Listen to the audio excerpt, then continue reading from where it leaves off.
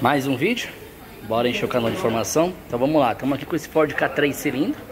Acabamos de fazer o ajuste desse motor aqui, né? Trocamos o pistão, abrimos o cilindro, etc. Fizemos o cabeçote, correia dentada novinha, tudo no sincronismo, bonitinho. A gente quer dar uma dica aqui, né, de sincronismo de Ford K, que a gente tem pego muita gente aí falando, ah, qualquer ferramenta, o carro não pega, ou quando pega tá fraco, tá sem potência, parece que tá lerdo. Bom, aqui o problema é o seguinte.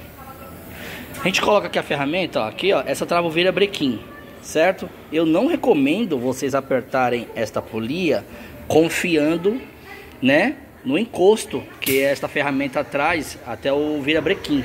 Vou mostrar pra vocês aqui onde é que ela encosta pra vocês terem uma ideia. Deixa eu pegar um virabrequim aqui. Pronto. A gente tem até um carteiro aqui, ó, um outro Ford K aberto, tá vendo? Vai ficar até mais fácil ainda, ó. Tá vendo? Aqui é o parafuso que é o tampão, né? A ferramenta, no caso, vai aqui e ela encosta aqui, ó. Tá vendo? Você vê que aqui já é chato já para isso. Que ele vai encostar aqui, mas no caso, a ferramenta, ela é um pouquinho maior. Só que tem gente que tem mania de apertar essa polia. E é um torque violento, tá? Pesquisem tabela por aí, porque de cabeça eu não me recordo o torque não.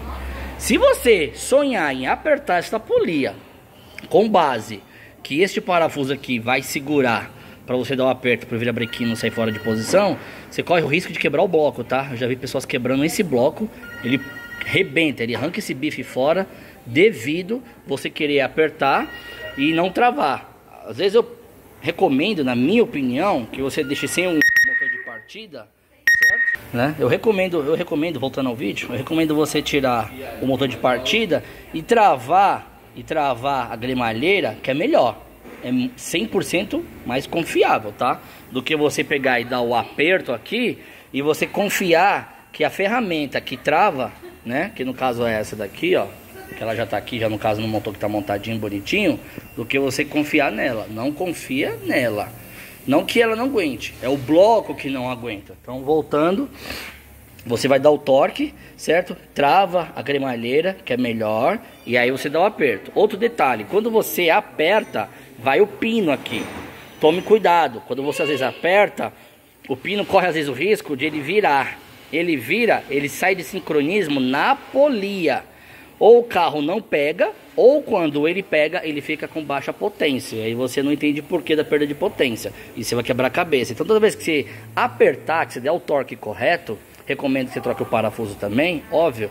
Você depois confirma de novo se ela não saiu fora que é bem frágilzinho aqui, tá vendo? É muito pequenininho. Acho que devia ser maior, né? Mas tudo bem, né? Eu não sou, eu não sou a Ford, né? Então, aqui tá a correiazinha.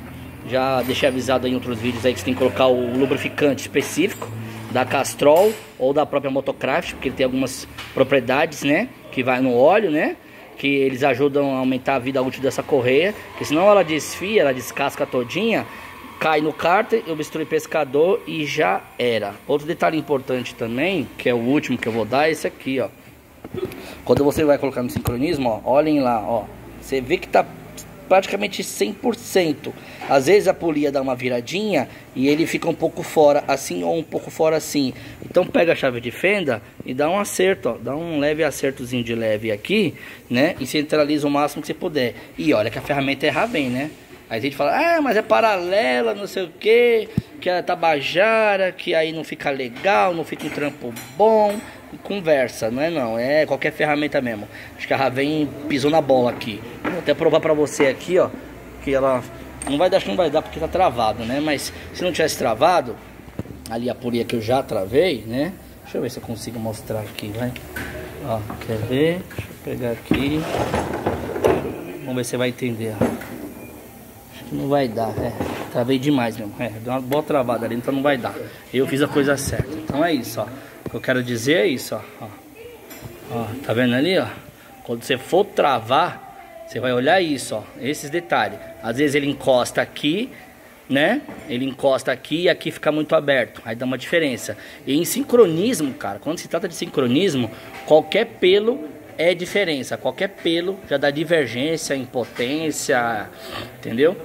Já dá uma diferença grande. Então fiquem espertos com isso. Tanto na admissão quanto na de escape. Você vê que a minha, ó, se pegar um calibre de lâmina, ele vai passar 100% um calibre de 20 de ponta a ponta, no mínimo de 20. Só que como eu te falei, vocês correm o risco de você às vezes não olhar, só jogar ferramenta em cima. Aqui ficar encostado bem em cima aqui e outro lado ficar aberto.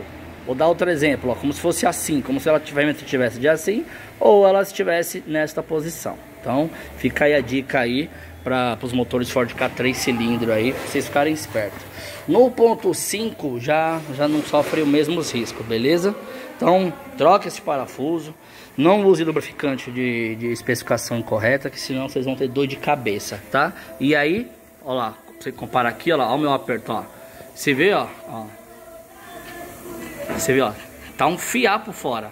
Você vê que tá nisso, ó, eu vou mudar assim, ó, ficou certo. Mas quando eu ponho de frente, ó, você vê, ó, ainda tá um fiapinho fora. Então ainda aqui dou mais uma acertadinha de leve. Porque qualquer fio de cabelo aqui vai dar diferença de potência no torque, certo? Então às vezes você vai ficar com a saída um pouco mais lenta, dá aquela cabeçada, tem uma dificuldade de pegar de manhã e às vezes você não sabe o que, que é. E o problema às vezes está aqui, ó, coisa simples. Só que muitos deles saem fora bastante. E às vezes acaba estragando até a tampa, né? Essa capa frontal. E às vezes você não sabe o que, que é. E o problema foi isso aqui, ó. Você deu o aperto e não verificou depois se a sincronismo ficou certinho. Então fica aí. Curta, comente, compartilhe, se inscreva no canal, certo? Deixa seu, seu comentário aí. Ativa o sininho. Até o próximo vídeo e tchau, tchau.